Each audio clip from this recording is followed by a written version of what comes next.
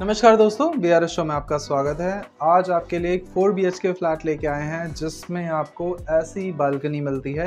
ये एक park facing property है, काफ़ी बढ़िया लोकेशन पे द्वारका की, और बहुत ही ज़्यादा बजट ओरिएंटेड फ्लैट है ये। अगर आप एक ऐसी प्रॉपर्टी देख रहे थे जो आपको कम बजट में या फिर रीज़नेबल बजट में मिल जाए तो ये एक अच्छा फोर बी के फ्लैट है, जिसमें आपको तीन बालकनीज़ मिल जाएँगी। चार बेडरूम्स मिल जाएँगे और एक अच्छा खासा फ्लैट जिसके अंदर आपको किसी तरह का काम एक्स्ट्रा नहीं कराना पड़ेगा। अगर आप एक ऐसी प्रॉपर्टी देख रहे थे, सही जगह पर पहुँच गए आप प्रॉपर्टी का कोड हमने यहाँ पे डाल दिया है नंबर्स नीचे लिखे हुए हैं। इस तरह की प्रॉपर्टी को अगर आप रेंट आउट करते हैं तो आपको अप्रॉक्सीमेटली 50 से पचपन हज़ार रुपये तक का रेंटल बड़े आराम से मिल जाता है। ये काफ़ी बढ़िया द्वारका की लोकेशन है। नीचे आपको डिस्क्रिप्शन में सारी डिटेल्स मिल जाएँगी, नहीं तो विज़िट में आपको सारी चीज़ें पता लग जाएँगी। आइए मैं आपको एक फ्लैट दिखाना शुरू करता हूँ। केवल दो यूनिट्स हैं एक फ्लोर पर यानी कि एक फ्लोर तक आने के लिए एक लिफ्ट और दो फ्लोर्स आ जाइए।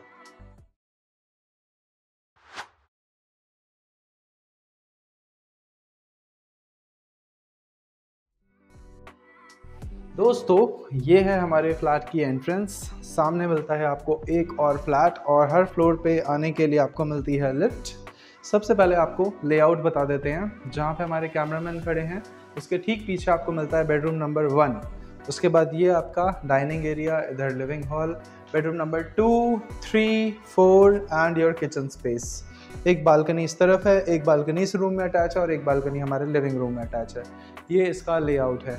इस तरह के four B H K flats काफ़ी कम मिलते हैं, जिसके अंदर आपको ख़ास तौर पे पार्क फेसिंग बालकनीज मिल जाएँ। इस पूरे लेआउट को अगर आप देख रहे होंगे तो आपको दिख रहा होगा पूरी फ्लोरिंग के ऊपर इन्होंने वुडन टेक्सचर टाइल्स का यूज़ करा हुआ है।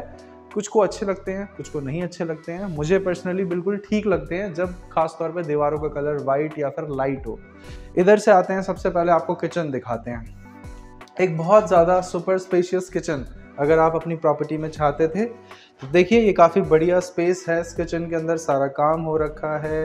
इस पूरे पोर्शन में अगर आप देखते हैं तो यहाँ पे आपको रेड कलर का काम मिलता है। रेड कलर की सनमाइका लगी हुई है। वेंटिलेशन काफ़ी बढ़िया इस विंडो से आपको मिल जाएगा। यहाँ पे आप अपना फ्रिज प्लेस कर सकते हैं।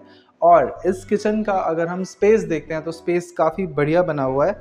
एक, दो, तीन, चार, पाँच। दस फीट ऐसे मिलेगा आपको और दस फीट ऐसे मिलेगा। तो दस बाय दस की एक प्रॉपर किचन आपको मिलती है। अगर आप इस किचन को अपने डाइनिंग एरिया से सेपरेट करना चाहते हैं तो यहाँ पे एक पार्टीशन आप क्रिएट कर सकते हैं। इसके बाद हमारा जो डाइनिंग एरिया है, इसका स्पेस भी काफ़ी बढ़िया है। करीब 12 बाय 10 के स्पेस में हमें डाइनिंग एरिया हमारा मिलता है। इसके बाद आएँगे हमारे बेडरूम नंबर वन में। सबसे पहले आपको बेडरूम नंबर वन दिखाता हूँ। एक बार प्लीज़ उस कॉर्नर पे आ जाइए। हम्म। इस रूम की विशेषता, एक तो साइज़ काफ़ी बढ़िया है इसका। एक, दो, तीन, चार और पाँच। ऐसे मिलेगा आपको पूरे दस फीट और यहाँ से आपको मिलेगा दस फीट दस बाय दस का रूम नंबर वन इस रूम के अंदर सबसे बढ़िया चीज़ क्या है? इस रूम में आपको एक बालकनी मिल जाती है, एक अटैच वॉशरूम मिल जाता है, एक अटैच वार्डरोब मिल जाता है। तो सब कुछ इसके अंदर आपको अटैच मिलता है। सबसे पहले आपको वॉशरूम दिखा देता हूँ अंदर से। ये वॉशरूम कुछ इस तरह से है। ये हमारा वेट एरिया है, ये हमारा ड्राई एरिया है। यहाँ कमोड की प्लेसमेंट है, यहाँ से बाहर चलते हैं। और इस तरफ़ आते हैं तो हमें मिल जाता है हमारी बालकनी। इस बालकनी से आपको नीचे के पार्किंग का व्यू मिलेगा। एक बार आगे ले आइए कैमरा। लेफ़्ट टू राइट देख लीजिए, काफ़ी अच्छा माहौल है यहाँ पे। ग्रीन है पूरा का पूरा इन्वायरमेंट सब कुछ बढ़िया लगा हुआ है यहाँ पे। इसके बाद यहाँ से बाहर निकल जाते हैं और आगे चलते हैं, आपको दिखाते हैं। वापस आते हैं, सामने की ओर हमें दिखते हैं हमारे दो बचे हुए बेडरूम्स इसके बाद ये वाला जो हमारा बेडरूम है, इसका डायमेंशन और इसका साइज़ हमारे बेडरूम नंबर वन से थोड़ा बड़ा है। यहाँ पे आपको मिलेगा 12 फीट ऐसे और इस तरफ़ से इस तरफ़ 10 फीट तो 10 बाय 12 का रूम नंबर टू है हमारा। इस अलमारी के साथ में हमें जो ये पोर्शन मिलता है, इसको आप अपने स्टडी के तौर पे यूज़ कर सकते हैं। यहाँ पे बहुत अच्छा हाइट का सिटिंग अरेंजमेंट बन जाएगा। इधर से आप आएँगे थोड़ा सा आगे। ये है हमारा बालकनी नंबर टू जी हाँ इस बालकनी पे आपको मिलेगा सामने एकदम ग्रीन पेड़ पता नहीं कौन सा है लेकिन बहुत अच्छा लग रहा है इस प्रॉपर्टी पे खड़े होकर इस बालकनी पे स्पेसिफिकली और आते हैं थोड़ा सा आगे। एक अटैच वॉशरूम है यहाँ पे आप इसे देखना चाहें तो देख सकते हैं। काफ़ी अच्छा लग रहा है ये। इसके अंदर आपको स्पेस जो मिलता है वो मिलता है पूरा। हम्म, छः फीट ऐसे मिलेगा आपको और सात फीट ऐसे मिलेगा। तो छः बाय साढ़े सात का स्पेस है हमारे पास। इधर ही से आप अपने बेडरूम नंबर थ्री में एंटर कर सकते हैं। इस बेडरूम के अंदर साइज़ आपको मिलेगा पूरा ज़्यादा है इस वाले का। तेरह फीट मिल रहा है आपको यहाँ से लेकर यहाँ तक तेरह फीट और यहाँ से यहाँ तक पूरा दस फीट तो तेरह बाय दस का रूम है। इसमें अगर आप इस पॉइंट पे खड़े होकर देखते हैं सिमिलर कलर का वार्ड्रोब इसमें भी लगाया गया है और एक बालकनी हमें, हमारे इस वाले रूम से ही मिलती है बट छोटी है। अगर आप साइज़ देखेंगे इसका तो कुछ खास नहीं है बट जो व्यू है वो बहुत सुपर है यहाँ से। यहाँ से हम चलते हैं, हमारे बचे हुए प्रॉपर्टी को देखते हैं।